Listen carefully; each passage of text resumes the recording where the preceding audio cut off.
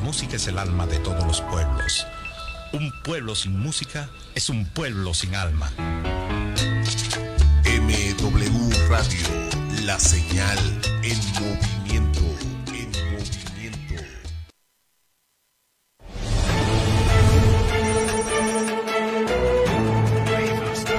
MW Radio, la señal en movimiento.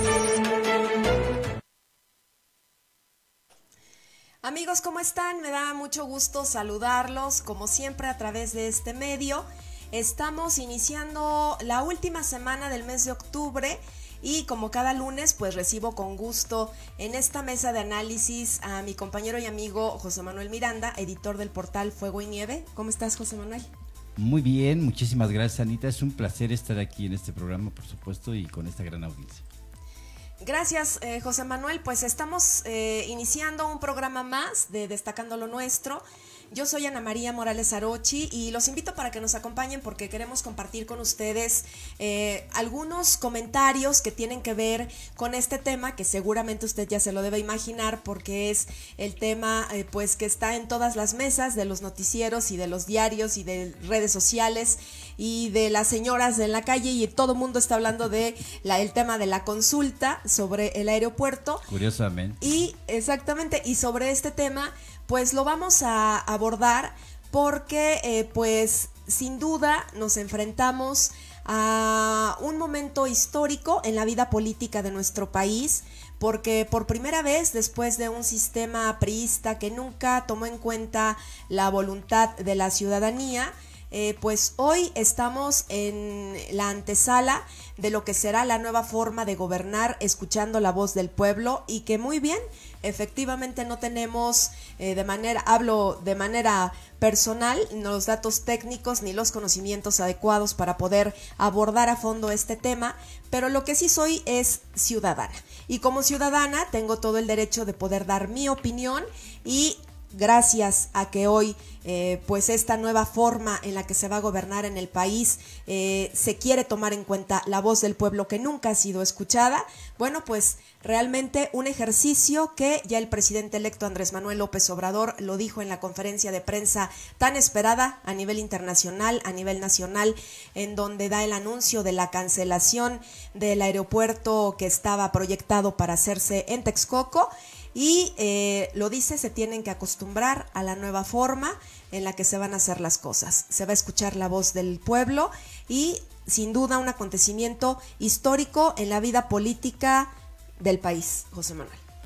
Es un acontecimiento mediático muy llamativo, importante por una sola razón. No tanto por el resultado ni por la forma. La forma es justamente lo que vamos a abordar en este, en este programa sino porque nunca se había dado en la historia del México contemporáneo, y creo que de, nunca, el hecho de que un gobernante le preguntara a la gente eh, si es pertinente o no hacer una obra y dónde. Jamás te han preguntado como ciudadano. Estuvo Fox, estuvo Calderón.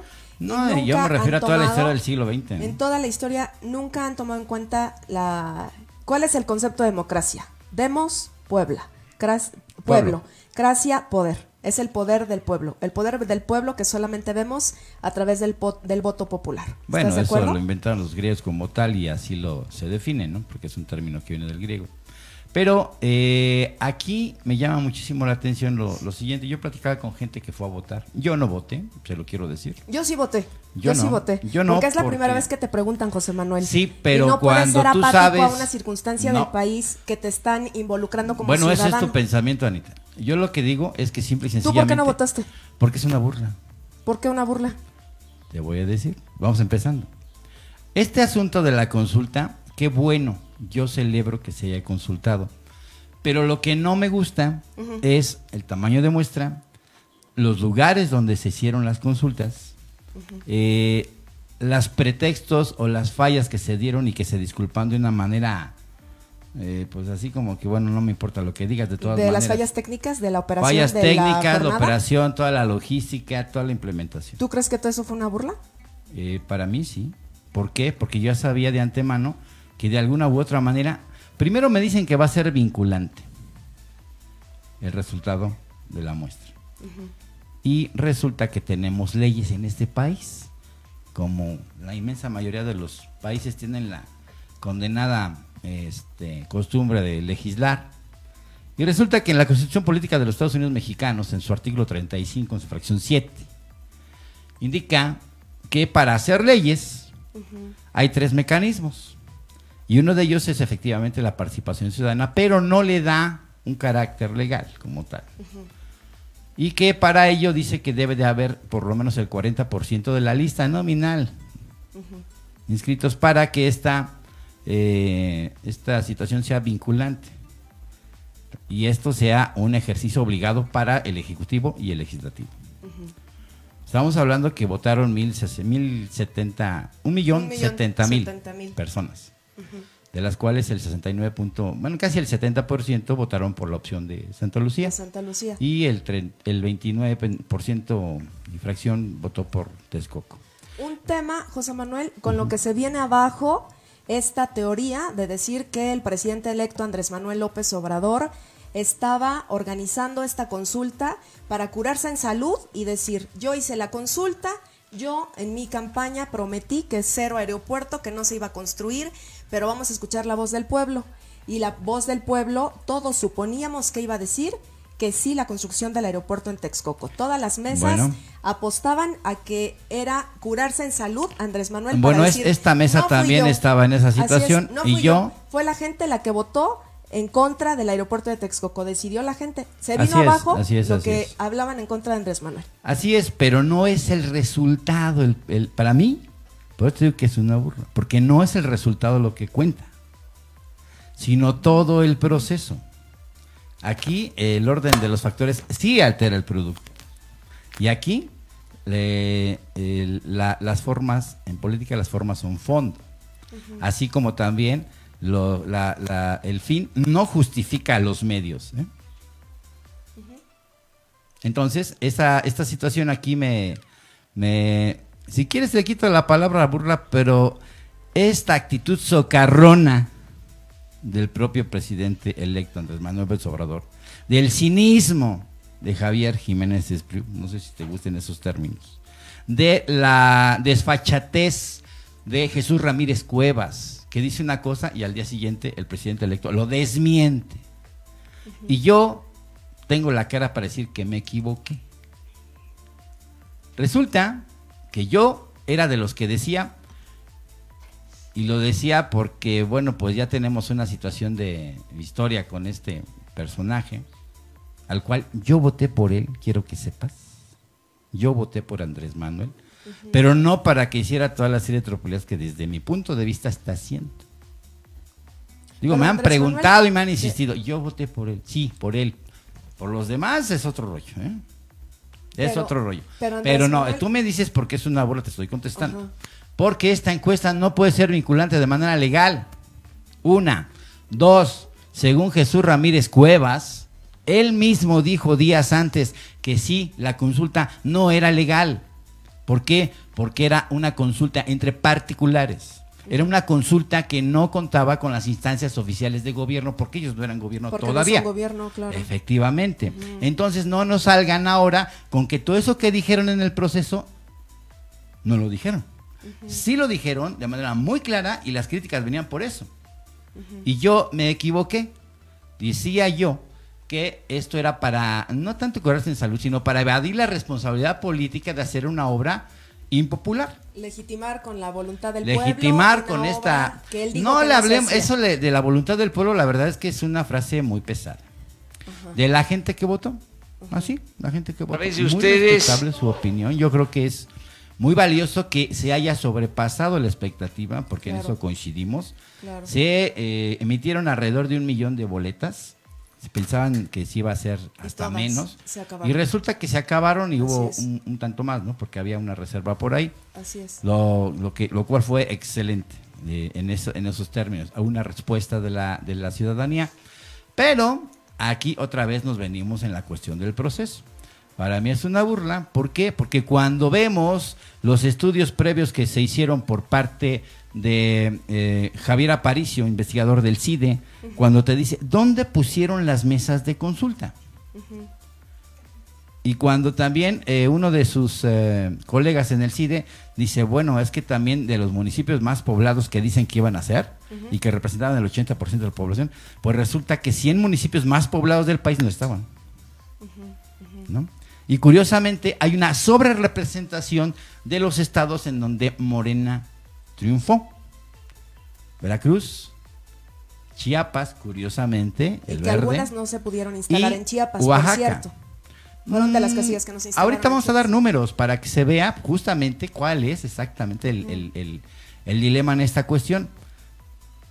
Yo no sé si tú utilices mucho aviones. Yo no. No, yo tampoco. Yo he viajado en avión, pero no lo utilizo Claro, casi. Claro. Aún así es de mi, de mi muy particular interés. Pero yo creo que la gente que de alguna manera tiene recurso, es decir, la gente que tiene lana, pues sí viaja en avión. ¿no? Claro. Y a mí me gustaría saber por qué los, los que la mayoría les llaman fifís, la gente de Polanco, de Tecamachalco, de Interlomas, de Santa Fe, de Lomas de Chapultepec, allí no hubo mesas de consulta. Tampoco hubo en el Aeropuerto Internacional de la Ciudad de México. En otros aeropuertos que pedían mesas que se Claro, instalaran, pues es la gente que lo utiliza. porque es la gente que lo utiliza. Claro. ¿Por qué a la gente que utiliza el aeropuerto no le preguntaron? Esa es una condición que cuando tú empiezas a ver cuáles son los este los intríngules de esta de este proceso de consulta, qué bueno que se consulta al pueblo de México, sí. Pero la forma en cómo se hizo, definitivamente yo creo que sí, a mí por lo menos me dejó de ver bastante, porque eh, pues yo puedo decir, eh, voy a hacer una, una consulta y hasta la podemos hacer aquí también. Claro. Y resulta que los, el método y las formas y el universo que yo me voy a dirigir, pues puede ser todos los sesgados que yo quiera para que salga lo que yo quiera.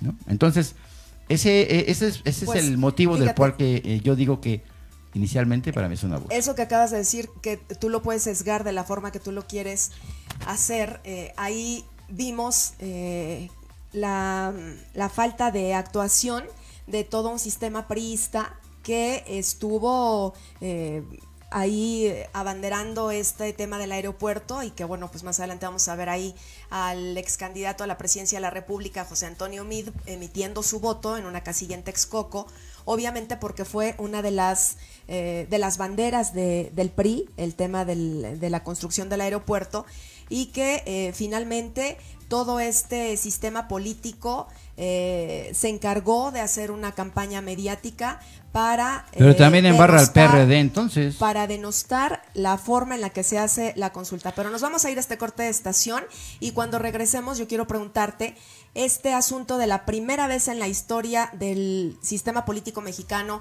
que elaboran una consulta popular. ¿Tú crees que es perfectible o tú crees que a la primera los esfuerzos políticos salen? Nos vamos Ahorita te, ahorita te regresamos. contesto, pero antes, antes eso sí que quede bien claro. Cuando empezaron los ataques de esta gente que dices, y no de todos, ¿eh? Dijo, es que son los corruptos y mentirosos y los no sé qué. Óigame, discúlpeme, pero perdóneme, porque no todos somos así. Y no todos somos priistas, no todos somos panistas, ni todos somos de ese tipo de gente. Entonces, el barrio con una tendencia, pero resulta que los que no estamos de acuerdo en la situación también nos embarró. Me perdona, pero no. Ahora sí, vamos a cortar. Bueno, regresamos entonces a Destacando lo Nuestro. Saludos para mi amigo Sócrates Matildes Victorino, que nos estás viendo. Te mando un abrazote y gracias por estar en frecuencia en MW Radio TV. Regresamos.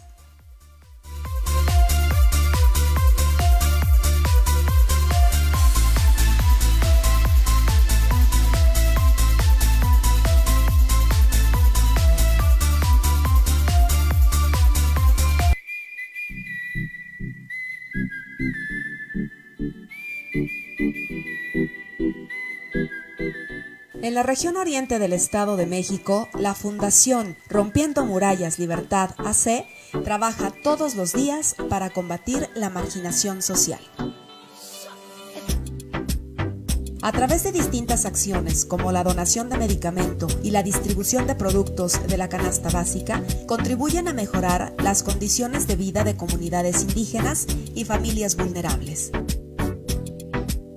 Para la Fundación, también es vital apoyar a familias de escasos recursos, cubriendo sus necesidades básicas de vestido. Por eso, a través de la entrega de ropa y calzado, pone su granito de arena para que niñas, niños y adultos mayores mejoren su condición.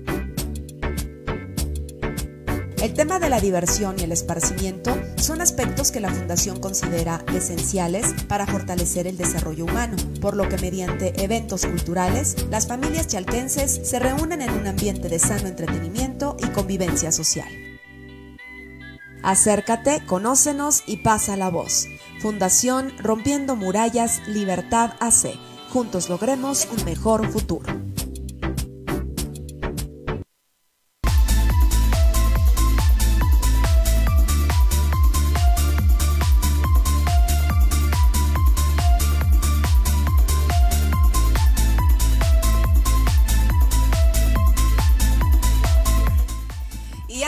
Al corte, lo que estábamos comentando es que eh, la importancia eh, de este ejercicio, eh, desde mi óptica personal, radica en que por primera vez un gobierno va a tomar en cuenta la voluntad de los ciudadanos.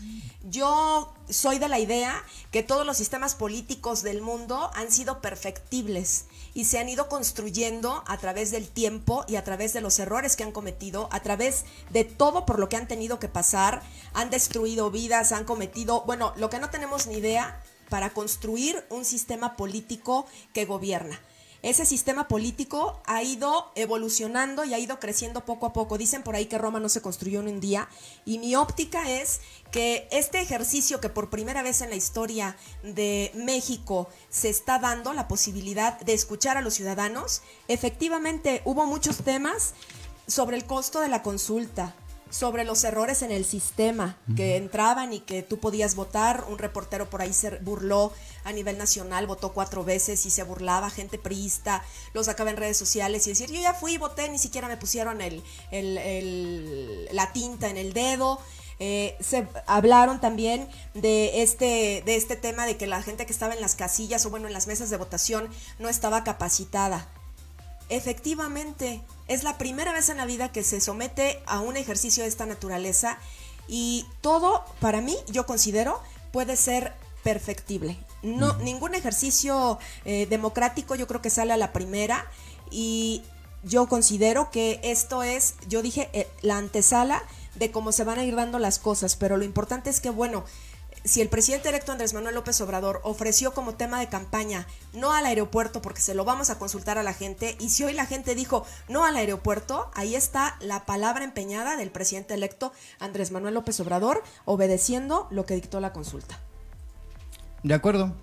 Sin embargo, aquí yo creo que, este, insisto, no es el concepto lo que se cuestiona, sino la forma como se llevó a cabo qué bueno que nos pregunten a los mexicanos este tema de tan importante, ¿no? Pero aparte el, el, aeropuerto no es el destino de un país, vamos, ¿no? O sea, ha habido muchísimo encono y si bien es cierto que los priistas o alguna gente con esa afiliación que también está en todo su derecho y eso hay que decirlo de manera enfática, no son traidores, no son corruptos, no son mentirosos, no. No todos son No así, todos son claro. así. No todos son así. Claro. Y queremos también dejar mucho muy en claro. Yo sí defiendo el ejercicio de los periodistas, de que digo, bueno, yo quiero una información neta, de que no vaya yo con Cristina Cruz, la responsable de la encuesta, en donde eh, me dice, no, pues es que la aplicación está perfectamente ubicada para que tú no puedas votar dos veces. Y si tú, por ejemplo, estás en un lugar y de repente volaste allá y también quieres pasarte de listo, si estás en Chihuahua resulta que va a votar en el sistema y no te va a dejar votar. Bueno, eso es lo que ella dice. Y lo que realmente pasó fue otra cosa. ¿No? Entonces, en ese sentido, yo sí defiendo la investigación que hacen los periodistas. Que ya hubo otros cuates que, priistas o no, lo que sea, empezaron de socarrones a burlarse. Bueno, es otro cantar. Pero que definitivamente se demostró la vulnerabilidad y la inutilidad de la dichosa aplicación, pues claro. Y eso es Pero la perfeccionaron, parte de la José Manuel, forma. porque el, el primer día que se instaló la- la- las mesas de votación, que fue el día jueves, ¿sí? ¿Fue el jueves el primero? ¿O el viernes? Sí, así El es, fue el jueves. Eh, el día jueves, este eh, tema del sistema eh, por ahí eh, empezaron a referir que no, se, que no servía, que se había caído el sistema. Así es. Y, Y lo reconocieron los de Morena Así también. es. Y al día siguiente nosotros lo pudimos constatar de manera personal. Mm. Quisimos hacer lo mismo, de votar otra vez. Entraron a una aplicación a través del teléfono y dijeron, este, usted ya votó. Ok, eso Lo está... tuvieron que perfeccionar. Yo a lo que me refiero No que es una solamente, consulta. yo más que perfeccionar, es una situación de, de- de ponerse las pilas, vamos. O sea, en eso, en ese asunto de perfeccionar, una app no la perfeccionas de un día para otro, por favor, no. Simple y sencillamente se ponen las pilas y las aprendes a usar, es diferente. Porque el, el- el rollo de que yo insisto de, de algunas este, situaciones que refleja el estudio que se hicieron de que las mesas que más se instalaron, por ejemplo, fue en Veracruz, que tuvo una sobrerepresentación horripilante. La producción tiene ahí unas gráficas en donde se ve perfectamente, en donde están todos los eh, eh, estados de la República eh, eh, y la- el, el número de municipios que votaron y la sobrerepresentación en porcentaje, de acuerdo a lo que eh, al porcentaje de la, de la muestra. Entonces, cuando vemos a Veracruz y a Chiapas, Chiapas es un asunto escandaloso. ¿Por qué? Porque Morena y el Partido Verde, curiosamente, salieron sobrerepresentados en donde ganaron. Y que hay que decir que Morena no ganó en la inmensa mayoría de los municipios de todo México. Claro, claro. El PRI tiene muchos más y el PAN también tiene más que Morena. Entonces allí no es una cuestión de que Morena haya arrasado en todos los municipios y por eso es que en, en todos esos municipios haya pues no, la consulta no fue así. Los estados en donde de verdad arrasó, ahí fue donde más boletas se dieron. Hubo una queja que decía el periodista Carlos Lore de Mola. Lo que él diga es lo que él diga, pero un dato sí es muy valioso. Que a los macheteros de Atenco o a la gente de San Salvador Atenco les dieron hasta cuatro veces más boletas, ¿no? Pues evidentemente, así como me decías fuera, fuera del corte, bueno, es que la gente fifi iba a votar por Texcoco, pues aquellos iban a votar por Santa Lucía. Claro. Todos están en su derecho y yo creo que precisamente de eso se trata el ejercicio democrático. Lo que pasa es que aquí hay muchísimas eh, eh, inconsistencias en el proceso que definitivamente no puede ser vinculatorio. Puede ser la expresión de, de- de una parte del pueblo de México de esta muestra que, que- que fue a votar. ¿Por qué no fueron dos millones o por qué no fueron tres? O sea, fue un millón y seten- setenta mil personas, ¿ok? ¿No? O sea, pero ese mandato se había dado desde el primero de julio. ¿Sí? O sea, 30 millones de personas votamos por un cambio, por una sacudida de este sistema. No porque se hiciera el aeropuerto en otra parte. Claro. Pero era una propuesta que estuvo duro que dale, duro que dale, duro que dale. Yo tengo mis razones desde el punto de vista ambiental, desde el punto de vista ecológico, precisamente. Que eso es lo que ponderan, ¿no? Que están diciendo que ganó este tema. Pero hay otro tema, que aquí la situación es de que, dices, los prisas empezaron a burlar en redes. ¿No has visto lo que están haciendo los este los amlovers? No, no manches, de verdad se están, perdónenme la expresión, pero se van con todo contra la gente que, que estaba por Texcoco. Y, y se burlan y, y son sarcásticos y les hacen memes. Digo, aquí todos son mexicanos, ¿eh? todos somos mexicanos. Así es. Aquí, no, independientemente si tuvieron una opción o tuvieron otra, ese no es el problema. Porque los socarrones están de los dos lados. ¿no? Los burlones están de los dos lados. No porque sean de Morena o, o pro Morena, ya son este, santificados por el Claro. Santo Beato Papa mm, PG primero. No, no, no, no, no, no. No, no. Aquí los mexicanos somos canijos. Y en ese sentido estamos de los dos lados. ¿sí? Yo en ese no, no he tratado de no meterme en esta, en esta condición porque sale uno raspado Sí, es que Terrible, es muy, es horriblemente, Es muy difícil el poder eh, dar una opinión y yo te decía, bueno, aquí yo creo que lo más eh, eh, destacable de todo es justamente que hoy nos vamos a tener que acostumbrar y así lo dice el presidente electo Andrés Manuel López Obrador. Ahí en producción nos van a poner esta, esta parte de... eh, la conferencia de prensa que dio hoy por la mañana el presidente electo Andrés Manuel López Obrador abordando este tema y diciendo por ahí eh, pues eh, algunas cosas pues muy muy ciertas. No, este, la suspicacia pues la crearon los que estaban a favor de que se continuara con la obra de eh, Texcoco. Esto es eh, normal, eh, así son estas cosas. Pero ya a partir del día primero, la gente decidió que se hagan los cambios en el país, que ya no decidan unos cuantos, que no haya corrupción. Ya va a pasar a la historia la época del contratismo voraz. No va a participar. No tiene nada que ver el ingeniero Robó más que su apoyo, que lo agradecemos mucho porque es un técnico de primer orden. No va a ser contratista. Este, él siempre me ha apoyado y lo considero uno de los mejores técnicos de este país y uno de los mejores ingenieros del mundo en esta materia. Entonces, cuento con su apoyo, claro, que no lo ven con buenos ojos los este, que tienen intereses creados y están acostumbrados a otro tipo de gobierno. Ya eso se terminó. Yo lo que les diría a esos contratistas y a esos funcionarios corruptos es de que se vayan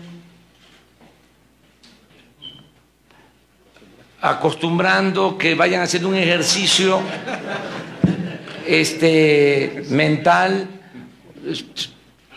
todo un proceso de readaptación, es válido, este, ya son otras condiciones. Les molesta mucho, les este, irrita. Esto es para todos. Todos tenemos que cambiar, todos. Se acabó la corrupción, se acabó el influyentismo. Ya no este, se van a privilegiar intereses personales o de grupo se acabó la corrupción. Esta es una muestra. No se permitieron presiones de nadie. Aquí queda de manifiesto de que hay una división desde ahora clara. Hay una frontera entre poder económico y poder político. El gobierno que está por iniciar su mandato es para todos, no es para un grupo, no va a ser un gobierno al servicio de una minoría, es el gobierno del pueblo y siempre va a prevalecer el interés general, lo que convenga a la nación, les guste o no les guste. Pues nos vamos a este corte de estación y regresamos para que José Manuel nos dé su opinión por qué puso cara cuando hablaron del ingeniero Riobo. Así es que nos vamos a este corte y regresamos a destacando lo nuestro.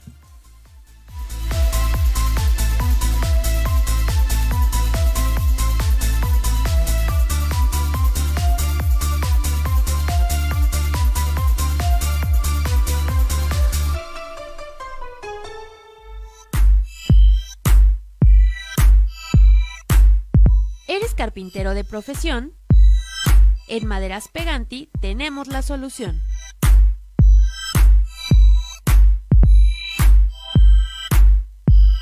Contamos con un extenso surtido en maderas de calidad. Recuerda, somos fabricantes en diseños exclusivos en muebles de oficina y para tu hogar.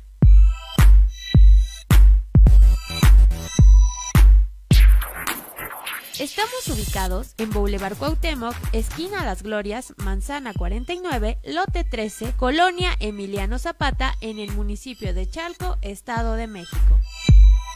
Teléfono 5546 7025 28.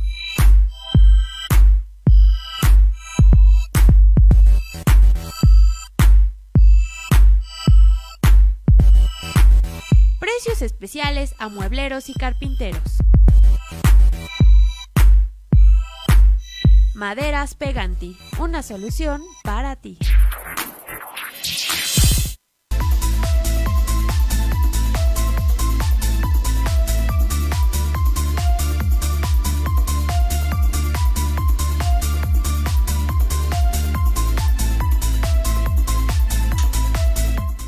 Pues escuchábamos parte del mensaje que dio el presidente electo Andrés Manuel López Obrador, en donde de verdad el mundo entero estaba esperando esta conferencia y que hablara de, pues, qué, qué pasa, ¿no? Después de esta votación, que la verdad es que de manera personal yo no esperaba y que en el mundo entero creo que esperaban eh, otra determinación.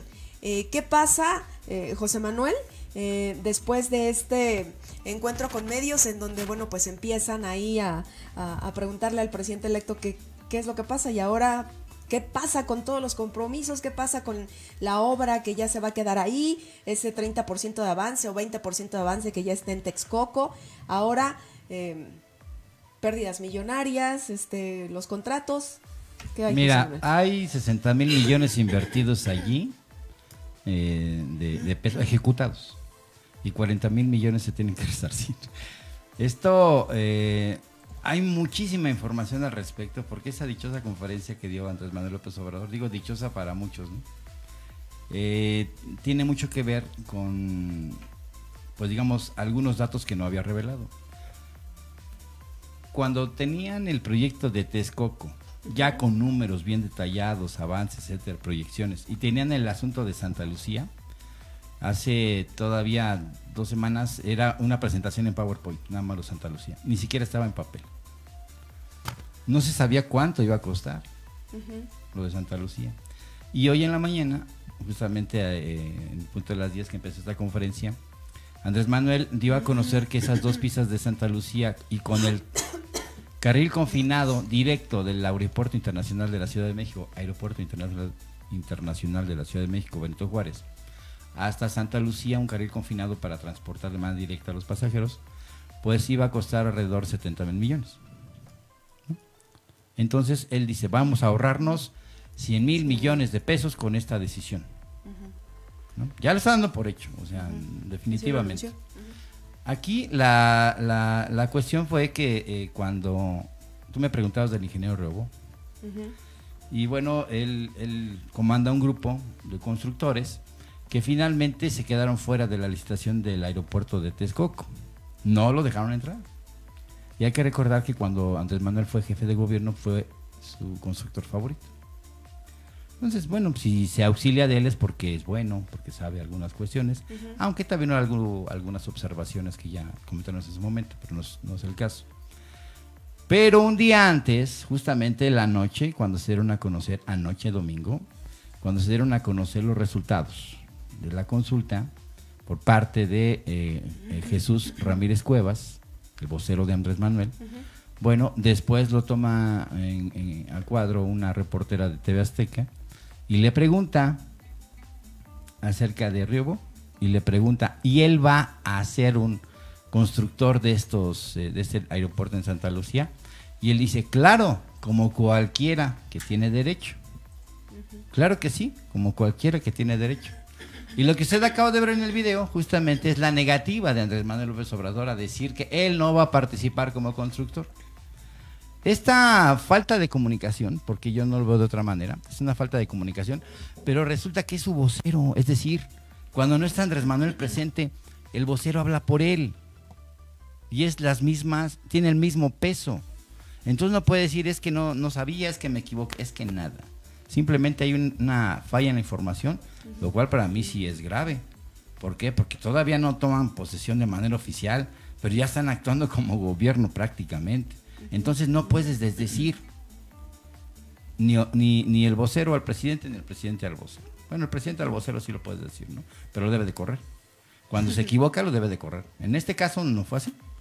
Como quiera que sea, esta, esta, esta, esta condición a mí se me hace como que van agarrando este, perlitas en el camino y lo que me sirve lo ocupo, lo que no lo voy haciendo a un lado.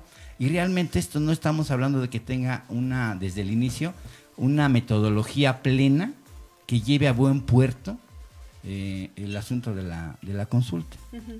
El ejercicio de la consulta para mí es muy bueno. Yo Claro. creo que es excelente la, la- la oportunidad que los mexicanos nos, nos, eh, pregunten sobre cuestiones importantes. No sobre todo, ¿eh? No sobre cualquier cosa.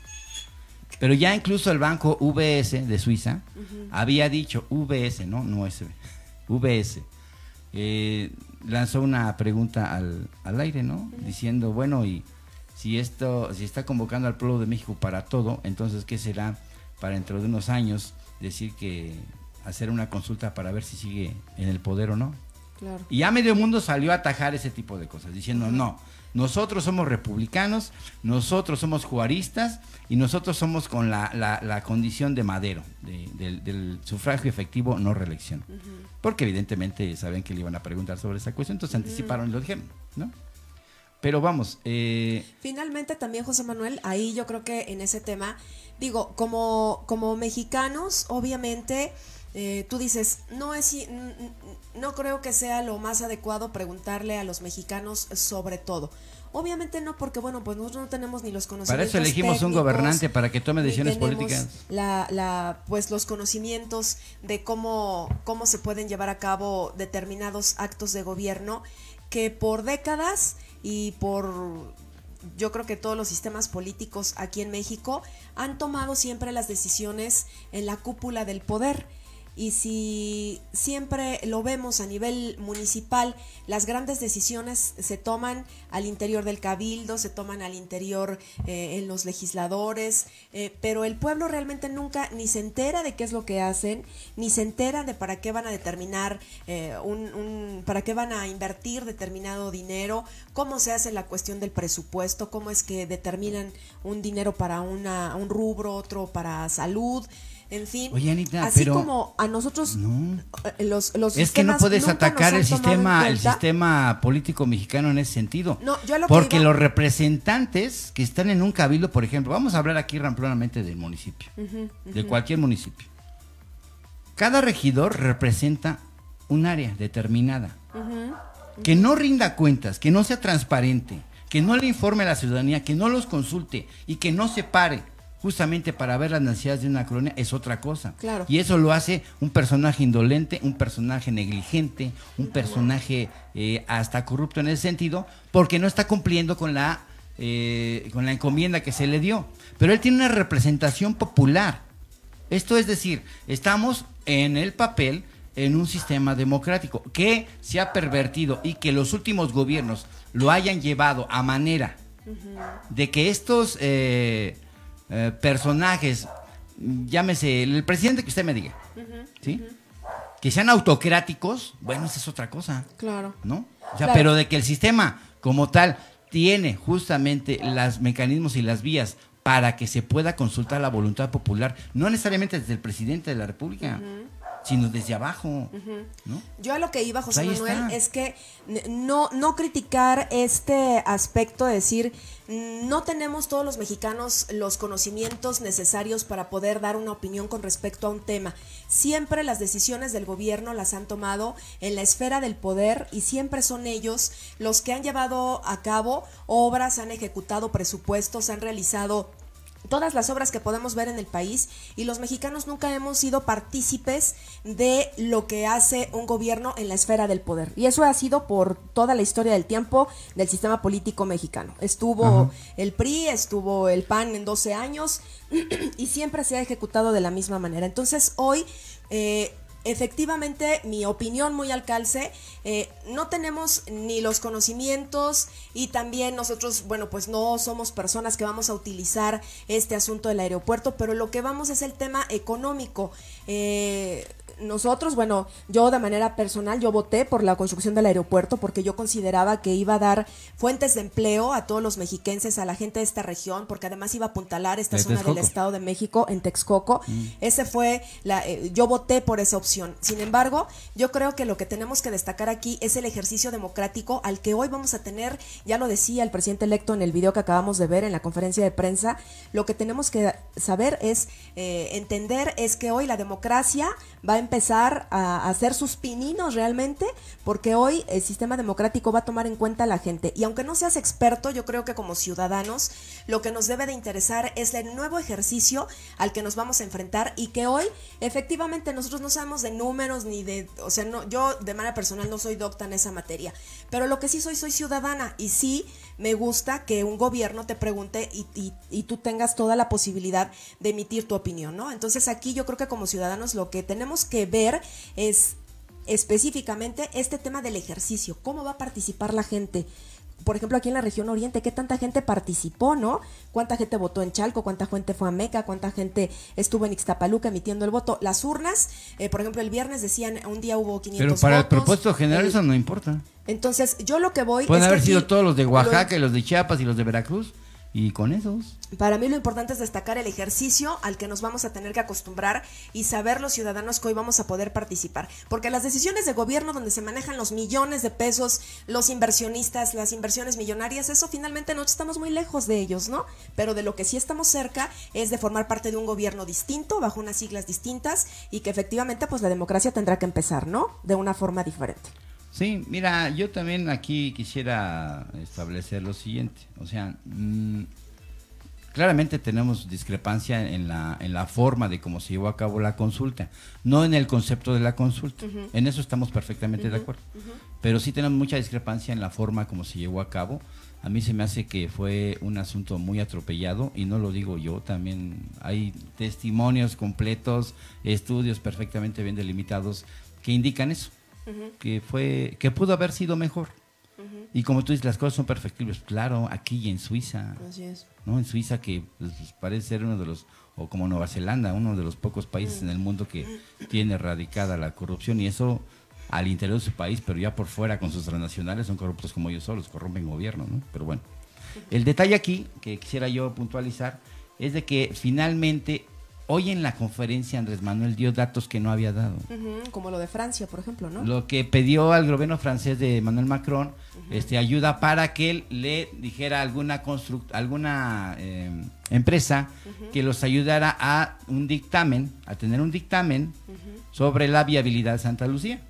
Y que efectivamente en días pasados, muy reciente, llegó el canciller francés a la eh, eh, casa de representación de, de, en este caso, Andrés Manuel, y le dio un dictamen. En días hicieron eso, en días, Sí. cuando habían dicho que se iban a tardar unos buenos meses para poder hacer ese dictamen sobre Santa Lucía. Entonces, cuando tú vas arrastrando información y le vas escarbando en los días y en las semanas, pues resulta que hay mucha contradicción en las cosas.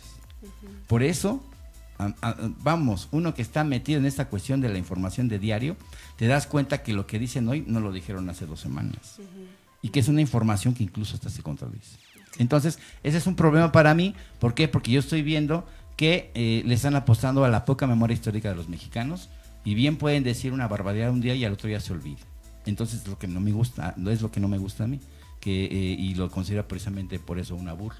Porque están jugando precisamente no con la ignorancia, sino con el olvido de los mexicanos y la poca eh, atención que le ponemos a las cosas de manera importante.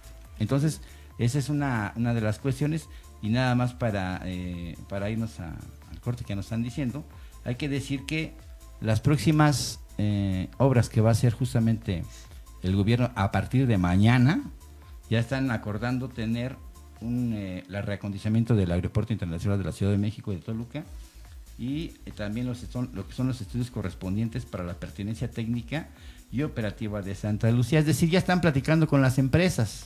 Hasta hoy estaba todo normal. o sea, hoy seguían trabajando todavía todos los, em- los, este, pues los, la gente de obra estaban ahí, ¿no? En el Sí, le- eh, pero aquí también salió a relucir algo que nadie había dicho. Y eso es la demolición de lo que lleva de construcción del aeropuerto de Está Texcoco. terrible. Van a demoler ese lugar. No, eso está terrible. Entonces, eso no se había dicho. Sí. Se pensaba que sí iba a ser otra cosa, pero no habían hablado de demoler. Y hoy ya lo metieron como un tema y pareciera ser que todo el mundo lo tenía por entendido. Se cancelaba, pero se demolía. No, no era así. No, pues no, utilizarlo así. para otra cosa, más una mega estructura. Son y una 60 mil millones tirados a la basura. No, eso sí está. Eso está fatal. para mí sí es criminal. ¿eh? Bueno, nos vamos a este último corte de estación y regresamos a Destacando lo Nuestro.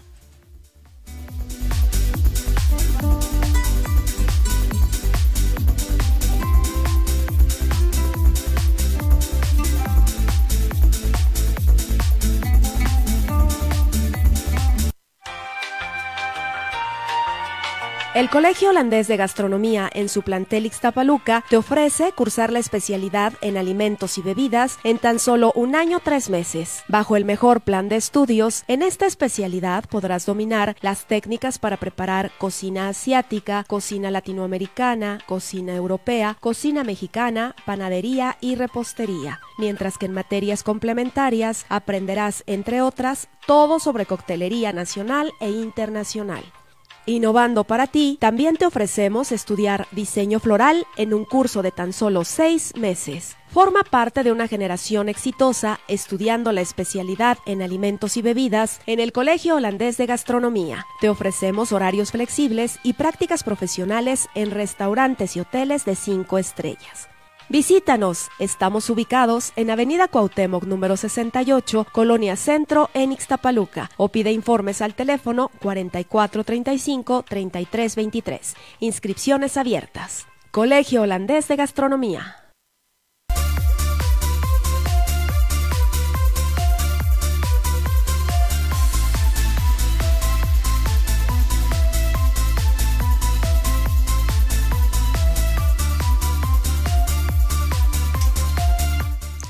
Pues regresando amigos de MW Radio TV, recordarles que nos pueden seguir en, nuestras líneas de comunicación, en Instagram, en nuestro canal de YouTube, en Twitter como MW Radio TV y este día eh, pues aquí con este tema tan interesante que tiene que ver con lo del aeropuerto, la decisión de más de un millón de mexicanos, bueno fueron eh, casi 700 mil, ¿no? Los que...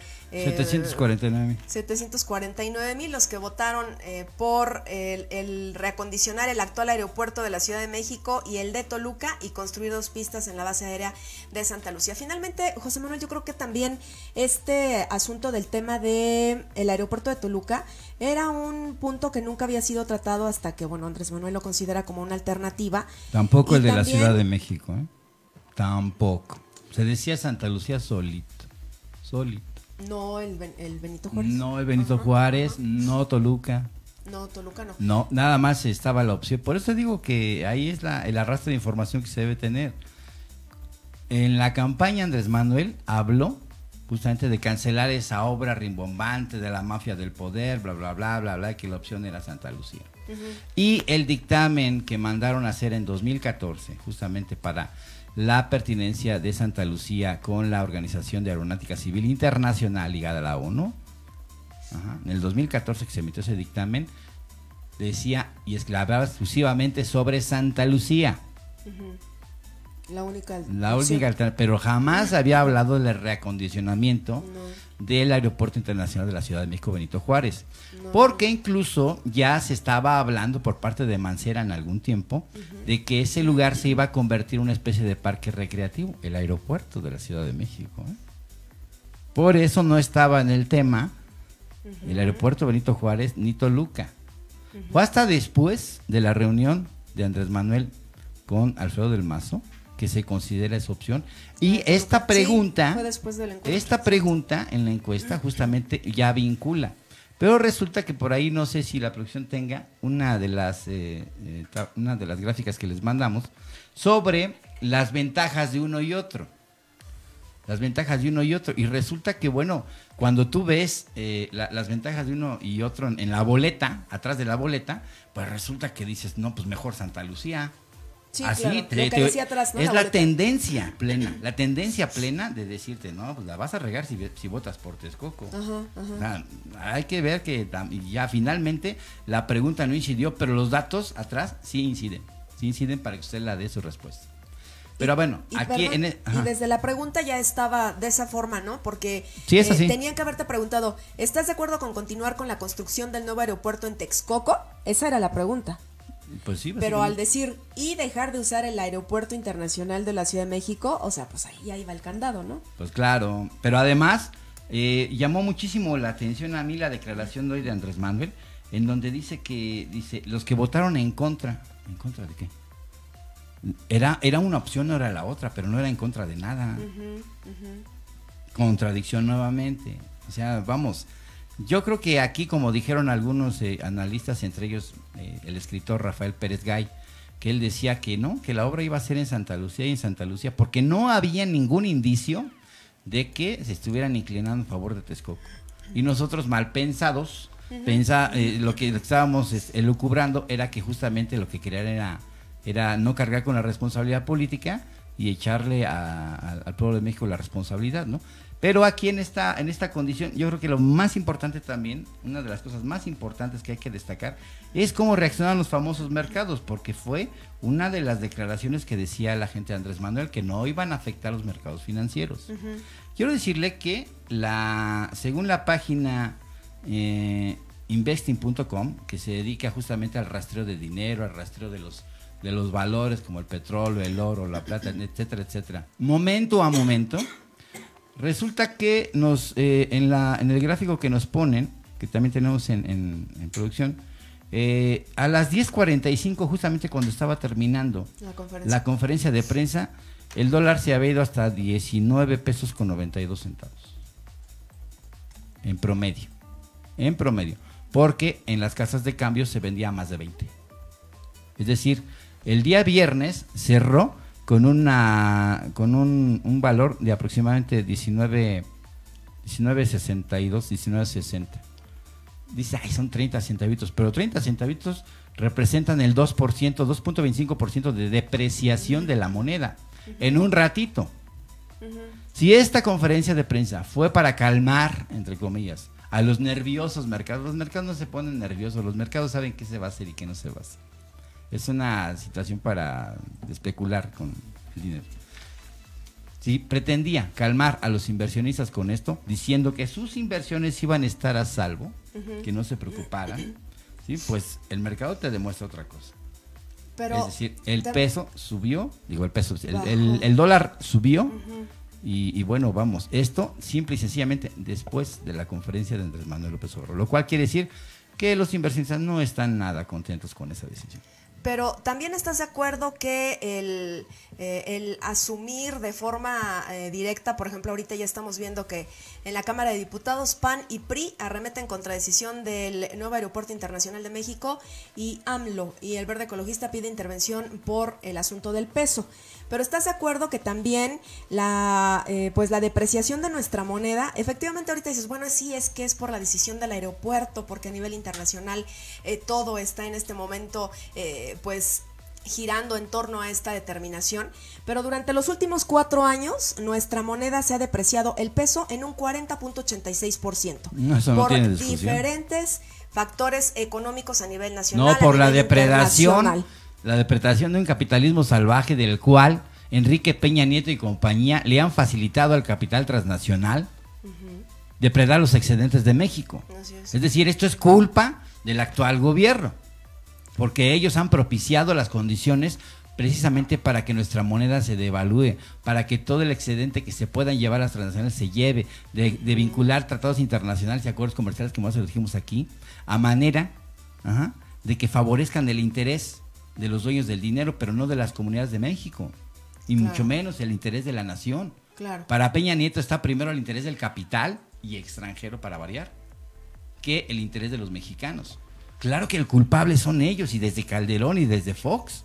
La cuestión está, y también desde los, de los gobiernos de atrás, pero eh, la, la, digamos, el dispararse esta, esta cuestión, cuando uno ve cómo tomó Peña Nieto el dólar, el valor de- del litro de gasolina, el valor del, del- del- del No, crudo, pues, o sea, olvídate. nada que ver con lo de ahora. Vamos. Y si hay un culpable, se llama Enrique Peña Nieto. Claro que sí. Claro. Por supuesto. Pero aquí lo que vamos es que hay, es un asunto mucho, muy particular. Que aquí esta conferencia de prensa no fue para los mexicanos, fue para tratar de calmar a los mercados internacionales, al mundo financiero, y no lo logró. ¿Por qué? Porque dicen, ah, sí, vas con esa, pues nosotros empezamos a hacer las operaciones correspondientes y había una gran venta de dólares. Había una demanda fortísima de dólares. De manera que, bueno, pues esto eh, tampoco se puede estar sujetando, como él mismo dijo, ¿sí? La- el bienestar de un pueblo a, a- a- a los devaneos de- del capital claro. financiero. Él lo dijo de manera muy clara y es. coincido perfectamente con Así él. es. Pero vamos, no puedes estar tú eh, poniéndote así al brinco y tratar de jugar con las reglas del otro. No, o sea, o somos o no somos. Por eso hablo de contradicciones, ¿sí? Porque si tú estás diciendo a los inversionistas, no se preocupen, todo está bien, miren, tranquilos, sus inversiones están seguras. Bueno, pues primero que nada está la cancelación, está el, el asunto de la demolición y está también la situación de pagar la indemnización por ese tipo de obras, por lo que ya se invirtió. Y ahora darles, darles obra a aquellos inversionistas que él dice que no se preocupen. O sea, es todo un proceso en donde yo quisiera, después de mucho tiempo, son tres años, ver que efectivamente se ahorraron 100 mil millones de pesos y no se gastó más de lo que se iba a gastar De en ese aeropuerto. programado. Sí, porque ese es uno, el, el- el- el gran detalle. De por sí, luego eh, lo que dijeron el día de ayer ya se nos olvidó. Entonces, cuando tenemos de aquí a un año para estar contrastando los números, No, pues pues es difícil a veces este, llevarle el paso a manera que nos damos cuenta que, bueno, nos mintieron, pero pues como el, el- el viento se lleva las palabras, pues resulta que no nos, este, no nos acordamos, ¿no? Entonces, por eso el trabajo investigativo pues tiene que ser pleno en este gobierno en donde lo más grave para mí es de que se contradice y se desdice el nuevo gobierno, el que va a entrar el primero de diciembre. Es lo que a mí me preocupa. ¿Por qué? Porque entonces toda la investigación que se pudiera hacer, también, si ellos se desdicen en su palabra, pues imagínense lo que va a pasar con las investigaciones periodísticas. También las van a poder decir, no, es que no, eso no es cierto. Mm, e- Es, eh, vamos, es otro tema, pero que a mí sí me mueve la, la conciencia por ahí.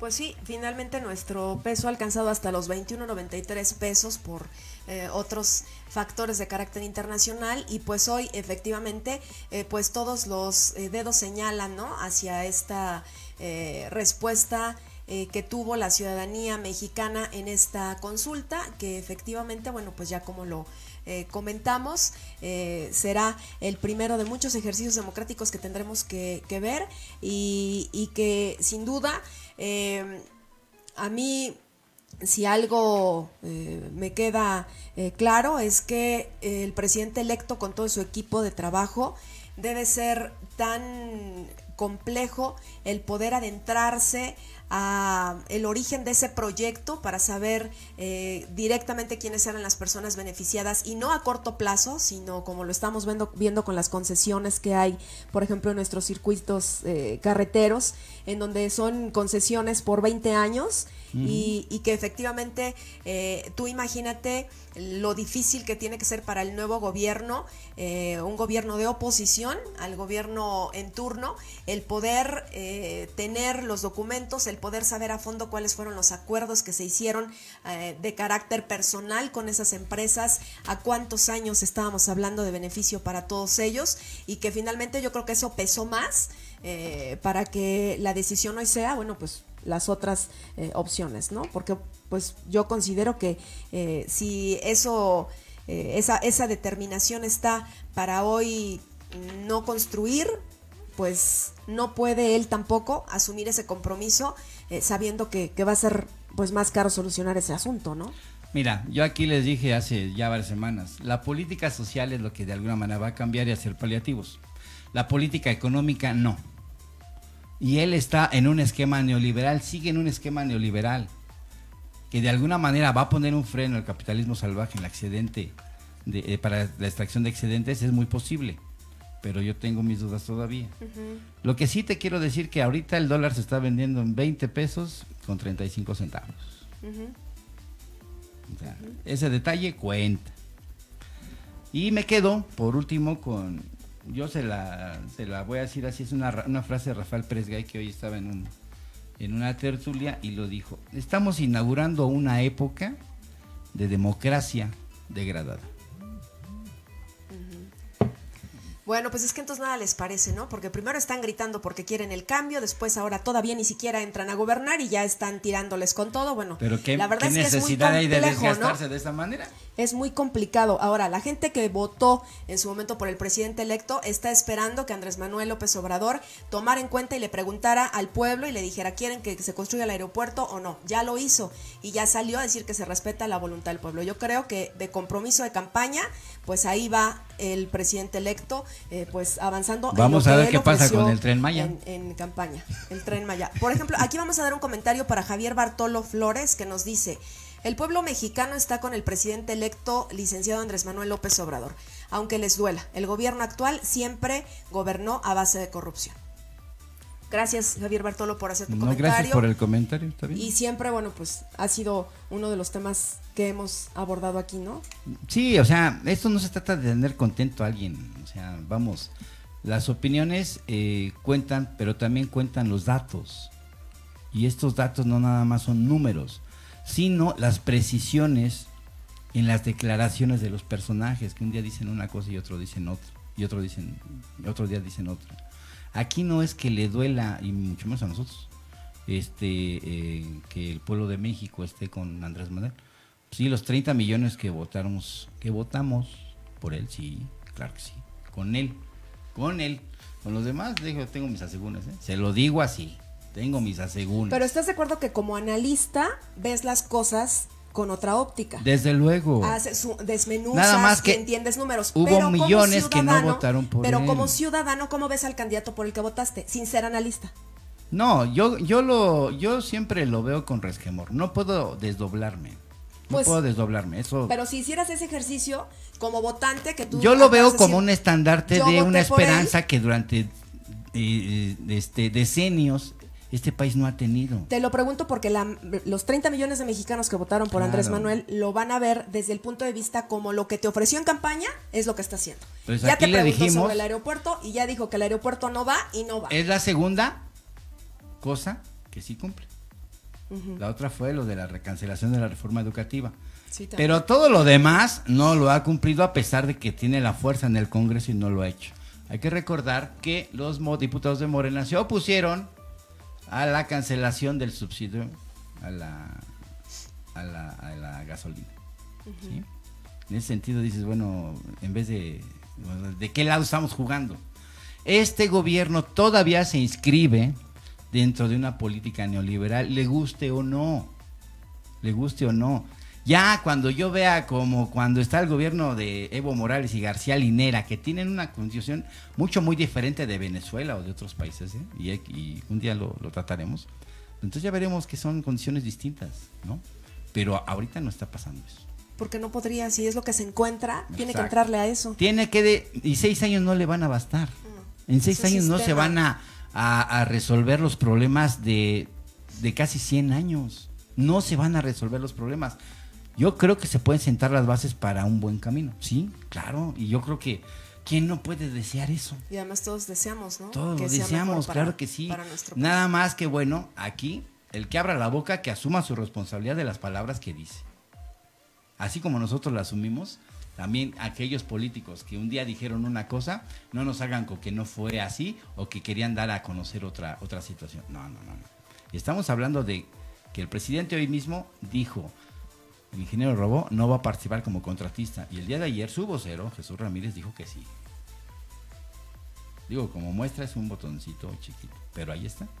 Entonces, no podemos estar eh, olvidándonos de lo que dice uno y otro personaje, sobre todo cuando hay contradicciones plenas acerca de un